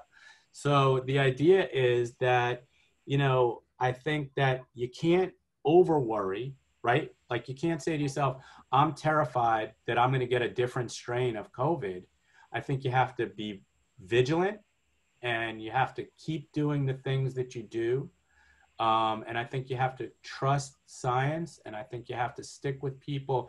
You know, there's a great uh, meme that I love. It's a pack of lions, and it says, uh, it says, tra- you know, travel with with people, or travel with a pack that's, or travel with a pride that's on the same mission as you, right? And it's like think about people who are are are, you know, I see this all the time. Two people walking in the street. One's wearing a mask, the other one's not wearing a mask. Two people working, right? They're in a truck together. One's wearing a mask, one's not wearing a mask. So, you know, masks have become politicized. That sucks, right? But, you know, there's a funny part like when Seinfeld used to be stand up, right? So he talking about this thing where he's talking about a bird, you know, parakeet flying into the mirror, right? You know, anyone know this joke? So he goes like this. He goes, parakeets, they fly into the mirror. They, they get killed flying into the mirror. He goes, you would think that even if they didn't know it was a mirror, they would try to avoid the other parakeet, right?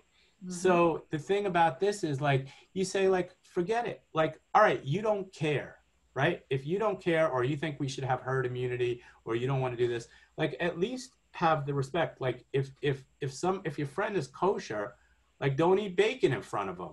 Like, it's that simple. Like, so it's like if you see that somebody's wearing a mask and you're not wearing a mask, at least have the respect to social distance from them. Right. I mean, it's that simple. So, Rosemary, why am I talking about this? Why am I going on a, a, a socio political rant? Mm-hmm. Because I'm just trying to say to you, you can't worry all day, every day about what might happen because most things that we worry about don't actually happen other things happen to us, but be vigilant, right? So universal precautions, mask, frequent hand washing, avoid people who are sick, avoid crowds. Uh, you know, if you've been someplace, like if you've been on the bus and you know your your clothes have been touching places that a lot of other people have touching, when you come in your house, take them off, change your clothes, things like that. Um, you know, but be vigilant. You know what I mean? You, there's only so much you could do. Believe me, I'm the same way. I want to carry a stick and I want to, I want to, you know, like I want to do that march of the wooden soldiers with like Laurel and Hardy. I want to be, I want to be whacking them with those sticks and those and those darts. But you can't do that. But I think if you wear an N95, a KN95, and I think if you get into serious situations like where you're on the subway or where you're really going to be close quarters to people and you can't can't wear a mask. Uh, you know i carry uh, you know this is funny. I go to the hamptons three days a week. I have a patient that i see three days a week. So i have to drive two hours there. I see him for an hour. I drive two hours back okay? I have a couple of places i stop. There's one parking spot that has the parking area has a porta potty Okay. There's a gas station that has a porta potty. I often stop for a Red Bull, okay, in the in the gas station, and I sometimes stop for gas. Do you know how many people I see about to go into a porta potty without a mask? Whenever I go to a public restroom or something like that, I carry extra masks because I know I'm always going to see somebody who. And the other day, sure enough, I see somebody. I said, "Hey, don't go in there without a mask." He goes, "What? I gotta I gotta wear a mask to take a leak?" I said, listen, let me just explain this to you. Okay. We know that it's transferred in feces, right? So you're going into a little compartment with an open hole with feces of 500 people. Put on a mask, right? But when I do use that, I wear my mask. I wear, I take my spray gun, okay? I spray the handle. I go in. If no one's around, I leave the door open, okay? I don't mind telling you that, okay? But then I come out, and the first thing I do is I wash my hands and I sanitize my hands. Okay. So be prepared. That's the other thing is be prepared. Have these things with you so that if you get into a situation, like I always say, the worst thing you get into New York City cab and the seat is wet. Uh-oh. What does that mean? Right. So it's it's you there's times where you can't wash your hands. So the idea is be prepared. Think of the situations. Think for me, it's going to the garage to get my car, right? High source of potential exposure, I go ready. People look at me like I'm a nut because I'm carrying around this giant spray bottle. I don't care. I don't want COVID, no matter what. Okay, I'll do whatever it takes not to get COVID. I carry a box of uh, Clorox with me all the time with me too. So I'm always prepared in gloves. Yep. Same thing. Same thing with flying. I've been doing that for years. Okay. I flew once during COVID. I, fr- I flew to LA. I made it. Um, but you know, I used to wipe my seat down, right? These things come come off black. They come off black. I once said to a, a flight attendant, I said, I said, how often do you guys, you know, clean these seats? She was like, clean the seats. This is before COVID. Now I think they're doing it. But to me, I always say, I trust me. Okay. It's like when I go scuba diving, I will pack my own tank. I will set up my own regulator. If I'm going to parachute, I will pack my own parachute. Why? Because I don't know what this guy was doing last night. Okay. So if he was sleepy or drinking and he's talking to his friend when he's packing my chute and something goes wrong, that's on me. So I'm saying take responsibility for yourself. Don't count on the other person to keep you safe. Noah, can I just add something? Yes. Uh, yeah. So, yes to everything you said. And I am not an infectious disease specialist at all. But um, my read of the scientific literature is that yes there are like minor like genetic mutations that are occurring but we don't know that that's why there are these reinfections that are being reported in the scientific literature That's a good point. That's a good point. The only reason we they're they're in the scientific literature is because they can say okay well they had this strain and that and i don't even want to use the word strain. They had this you know version and then that mutation was showed up in the second time. But that doesn't mean that you know one could only be reinfected with a different strain or a different you know genetic mutation. It also doesn't mean that most of us will. Um, we really don't know. And so i don't know that that's going to make anyone feel better but i also don't know that anyone needs to be super Yeah, and you won't know, and you won't know anyway. Like it's not like you can be like, hmm, she looks like she has the Alyssa Milano strain. You know, it doesn't work like that. Okay, it doesn't work like that. But the other thing is, I, COVID's not mutating. Like there are things that mutate and are constant. Like I'll give you an example: cystic fibrosis. Okay, cystic fibrosis. We can never have two cystic fibrosis patients in the same uh, room because the bugs are constantly changing. So it's like you don't want your bugs mixing with someone else's bugs. COVID, to my knowledge, and again, there's still so much that's unknown, but I don't have the impression that it's constantly mutating or that it's getting trick. Listen, COVID doesn't, COVID's tricky, but look at the way our country is handling COVID. It doesn't have to be that tricky, okay? It doesn't have to be that tricky. We're doing it to ourselves, okay? We are doing it to ourselves. So we say, okay, we are thankful. We've never had a ground war in the US short of the Civil War, okay? But if there were a ground war in front of your home, would you be fighting for your constitutional right not to wear a bulletproof vest?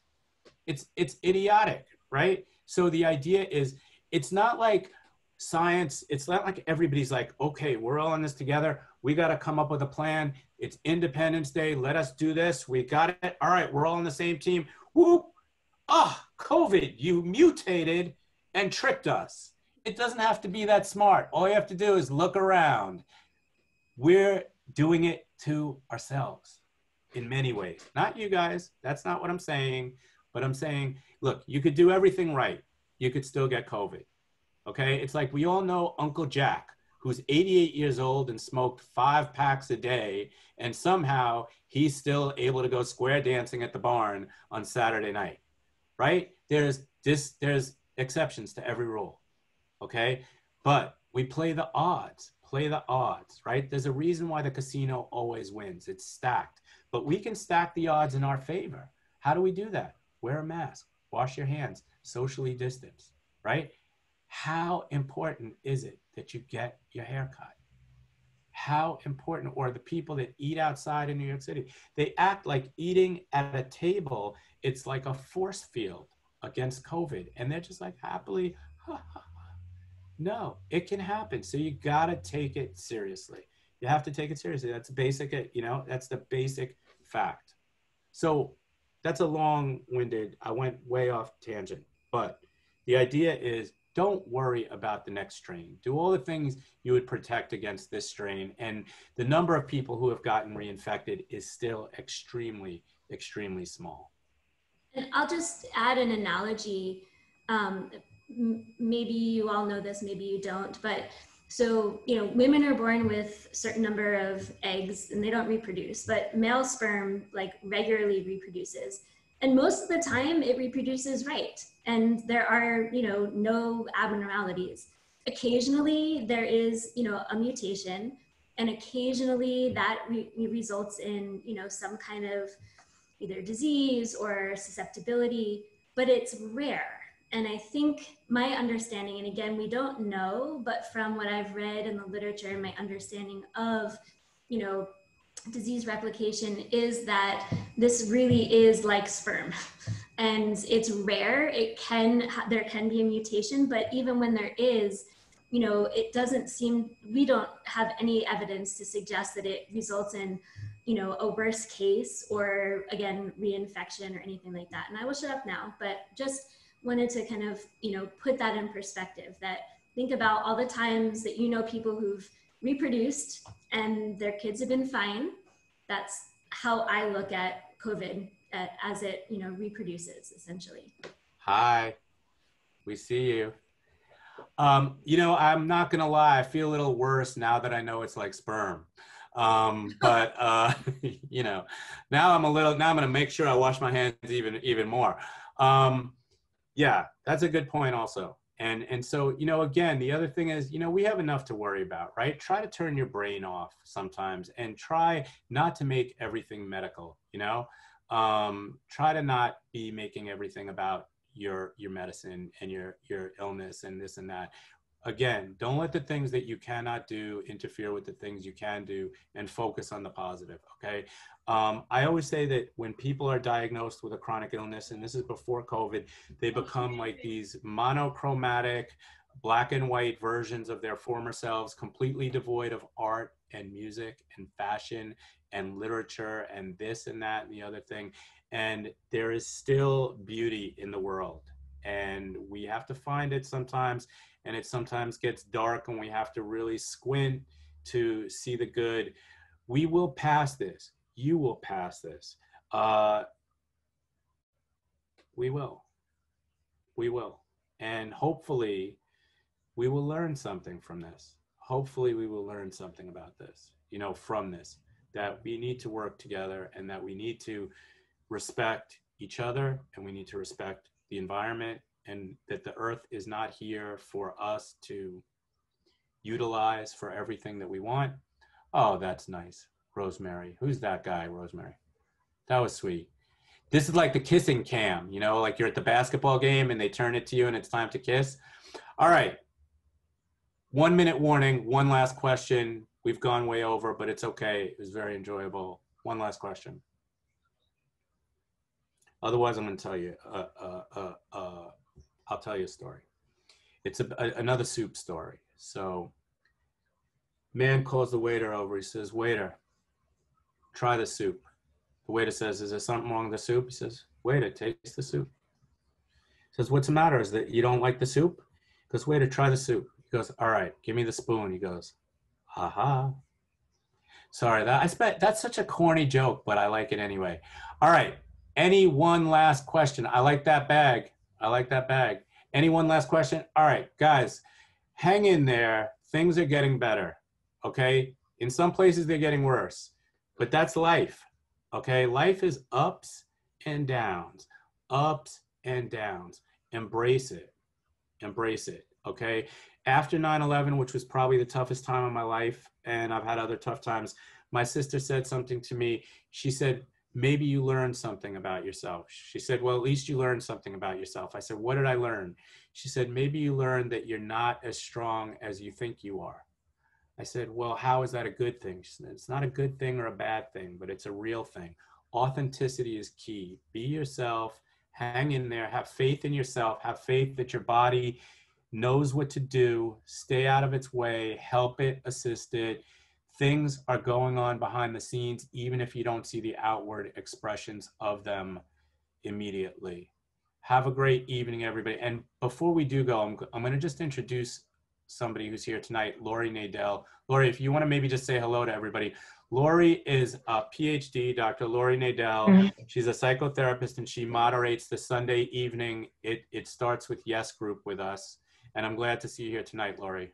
Well, thank you. Um, and thank you, Noah. And thanks, every one of you, for being here this evening. Um, when you're living with a, a long term illness, uh, every opportunity to get information and to provide each other with information is so important. You know, kind of building your network. Um, it's almost like there's a grassroots movement that's developing here of a community of uh, uh, healthy people who have gotten this terrible illness or who are dealing with other long-term illnesses. And it's so important um, to do whatever we can to come together to enforce the, uh, to, to reinforce the idea that we can experience uh, calm and well-being and empathy, uh, and we, we, can, we can be here to learn from each other, um, even when we're feeling that uh, we're, we're not as functional perhaps as we used to be or we would like to be. Everyone here has something to contribute, and I hope that you'll join us on uh, Sunday evenings at 7 um, of getting to yes. Okay. Thank you, Lori. And everybody remember, a few months ago, Monk was paralyzed from the chest down. And here he is, walking around. So you can, if he can do it, you can do it. Have a great evening, everybody. Have a great week. Hang in there. Rob Gregson, I know you already forgot what I told you. It's called the Aerobika. Don't forget 100 breaths in the morning, 100 breaths in the evening. Have a great night, everybody, and hang in there. We're going to get through this. Bye bye.